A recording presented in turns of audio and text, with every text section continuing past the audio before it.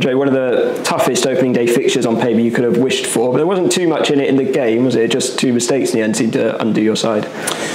Yeah, that was the problem. We didn't we didn't make them work for their goals. Um, I thought we were in the ascendancy first half. I thought we were the better side at half time.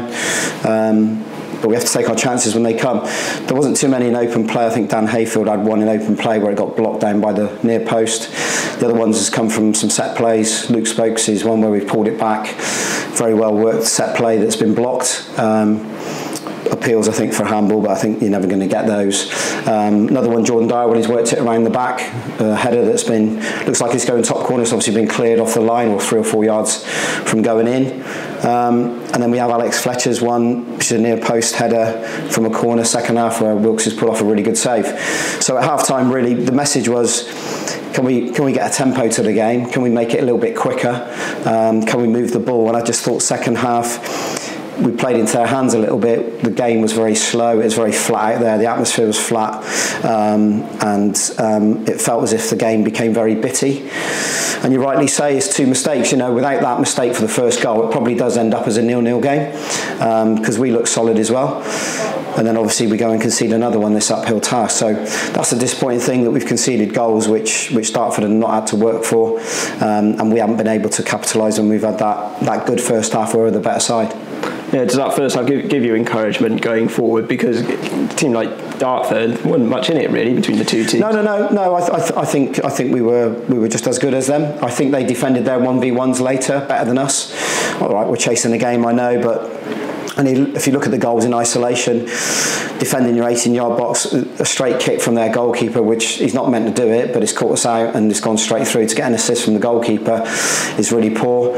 Um, and, and, also, it's, uh, I think it's unfortunate. I think Zach scored an own goal at the near post from what I can see. So, um, yeah, difficult moment for him in two goals, but um, yeah, he'll learn from it, obviously. But it's just disappointing because I do feel as if it was a it was a nil-nil game, really. Of course, when they're two 0 up and there's a little bit of a swagger, then any team would be like that. They'll start moving the ball around, um, and we we sort of went out with a little bit of a whimper in the end because we couldn't we couldn't and didn't look like we were going to score second half. You threw in a lot of debutants today. How do you think they all gelled together?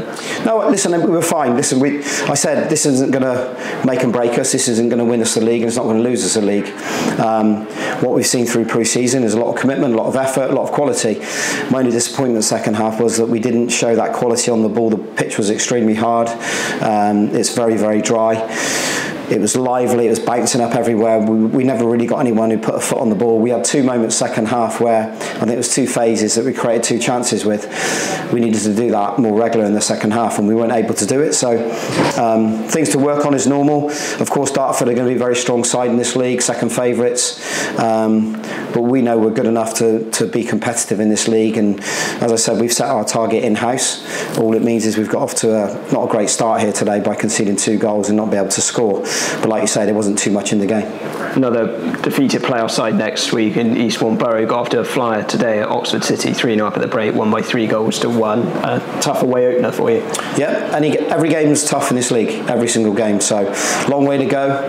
Um, on a 3G pitch, good football inside if they're similar to what they were last year. Have to be at our best to go and get something from that one again. Um, but we do. We need to cut out those mistakes. That's all it was. It was two mistakes in the game. I mean, I, you haven't asked me the question about it, but I'll bring it up. The penalty is, a shocker. It's a shocker first half. How it's not given, I will never know. Um, even Alan's come in in the office afterwards and said, and it, let's let's get this right. If we'd scored first in the first half, I think we'd gone on and won the game. But that's a real bad one. It's not a hard decision for the referee to make. When someone gets absolutely pushed and barged from the side and goes over, it's a blatant penalty and that puts us 1 0 up in the game, and that's when we're on top as well. So, really, really poor from the official that one. Um, if you're going to get some decisions, don't go for the finicky ones, get the big ones right. And um, I'm aggrieved by it. I've, I've, i want to mention it because I'm aggrieved by it because I think we've gone and win the game. Not sour grapes, facts. And anyone who sees it will see that was a penalty. And um, yeah, hopefully they'll go away and have a look at the referee as well and the officials and um, come up with the same equation because the linesman agreed with me. He's got the same view as me. He's agreed with me that he's seen it and it's a penalty. I think there's an assessor and someone assessing the assessor. There's enough people here to go and sort it out, um, and I expect I expect I'll get probably get an apology, but it doesn't mean anything. Um, So that's my little rant on that one over. But like the bigger picture, like I said, there wasn't too much in the game. Two two sides that'll do well this season, I think. I wish Alan all the best, and um, we'll look forward now to a week of, of training and um, planning for Eastbourne away. Yeah, best of luck for next Saturday.